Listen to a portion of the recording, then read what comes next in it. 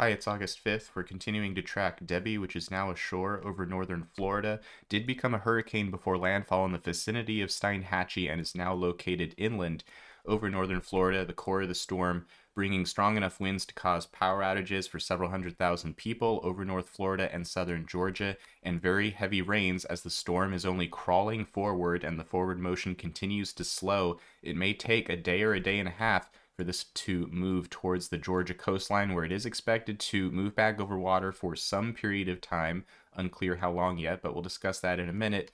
And very heavy rains will continue over this region, and the storm will cross the Florida Georgia line potentially later on today.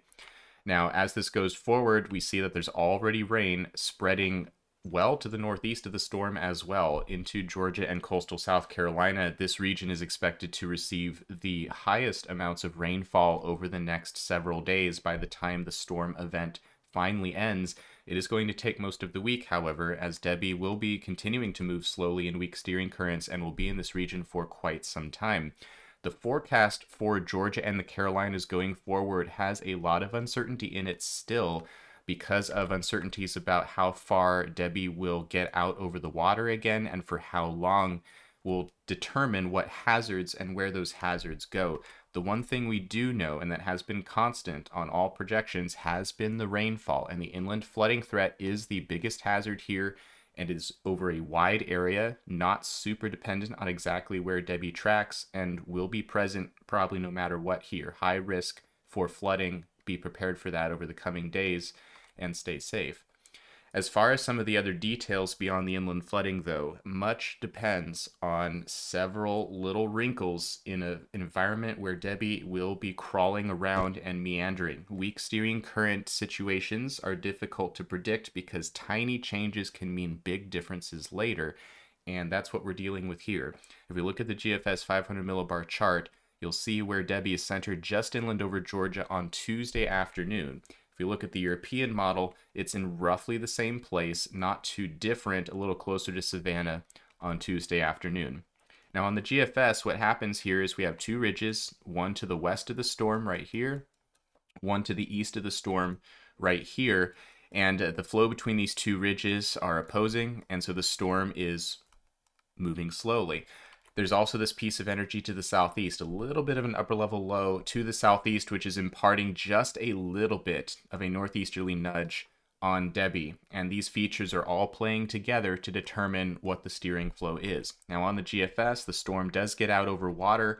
And what happens here is eventually uh, it moves back towards the northwest as this western Atlantic ridge begins to nose back in towards the coastline on the model. So a little bit of a southeastward push gets this back ashore exactly where it came from in Georgia about a day and a half after it nears the coast. So, day and a half kind of sitting near the coastline, and then it goes back the other way and ends up moving inland over Georgia again. You can see how we get so much rain in this kind of area where the storm hasn't really gone anywhere three to four days from where we're sitting right now.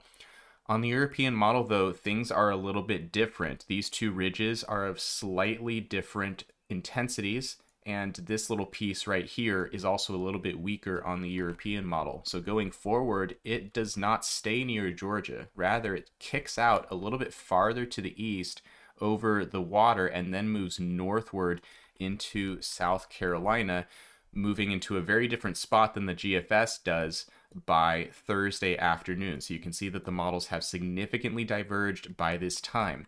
Now, this whole zone would get a lot of rain in both of these scenarios, but in terms of the potential impacts of other hazards like wind and coastal storm surge, these details are going to matter quite a lot, and there is potential for Debby to re strengthen when it gets back out over the water that will be dependent on its structure. So if we look at, for example, the HAFS-B high-resolution hurricane model, by the time the storm gets near the Georgia-South Carolina border, which is right here in about two and a half days, its structure has been quite hollowed out. This particular model shows a very broad center of circulation. You can see this drier area of gray surrounded by this very wide ring of green, which would indicate the thunderstorm and rainfall activity. And this is so hollowed out and broad that re-strengthening is not very likely if the structure were to turn out this way. If it was this broad, we wouldn't see that much change as the storm moves back inland. On the European model, though, a slightly different outcome. On Wednesday afternoon, it's kicked out over water, and this is a more compact storm core that does have the opportunity to re-intensify. So we see the central pressure lower and the circulation tighten up. And this is the kind of situation where Debby could be approaching hurricane intensity again prior to its second landfall. But there's another wrinkle, and that's this coastal shelf water. Keep in mind that the Gulf Stream deep warm water is actually offshore in this zone where the wa- warm water flows northward. The shelf water on the inland side or the coastal side of the Gulf Stream is easily cooled. And we're already seeing that. If we look at a buoy that's offshore St. Augustine and another one that's off Georgia right now, we are seeing significant water cooling due to the winds and rains of Debby. So what was 28 to 29 degrees Celsius is now closer to 26 and a half degrees Celsius off St. Augustine and the same going on off of Georgia down to 27 degrees Celsius. This is interesting because some of the high resolution models that are coupled to the ocean, like HAFS, are starting to see this cooling.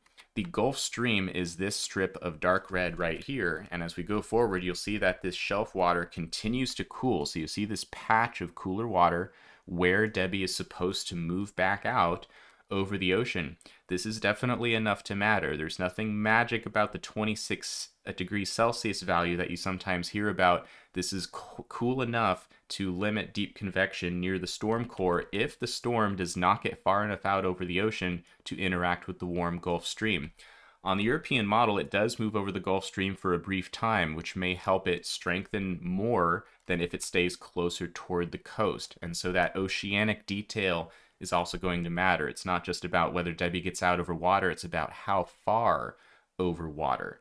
And that will be key over the next two to three days. If we look at the European ensemble in terms of track uncertainty here, we, we showed you that the deterministic European goes into essentially the Myrtle Beach area.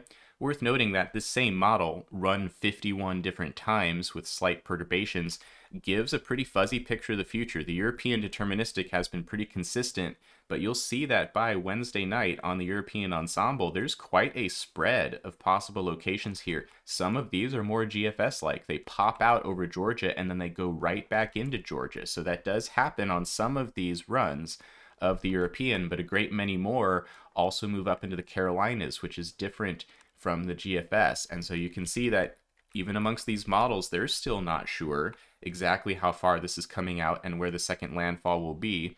And as a result, humans aren't that sure either. And it's very difficult to nail that down right now. It's one of those things we're going to watch and see. We know that there's going to be a lot of rain either way. That has high certainty.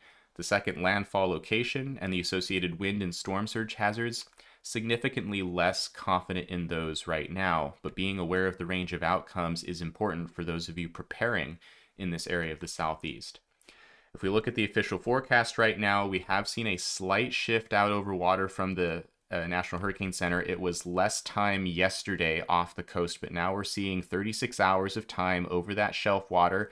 Again, maybe that shelf water is a little cooler, so if it's tight to the coast like this, hopefully that keeps it from strengthening quite as much. But some re-strengthening would be likely if there is any time over water, and this is back up to moderate to strong tropical storm strength by the time it gets towards uh, the Myrtle Beach area on this particular forecast.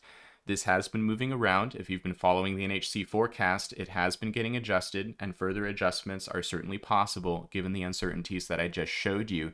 You can see that this is kind of a long range forecast, four days out, and it's just getting inland over the Carolinas. That's enough time for things to change. But you can see there's a tropical storm warning now for the northern coast of Florida, all of the coastal Georgia, and much of the South Carolina coastline as well.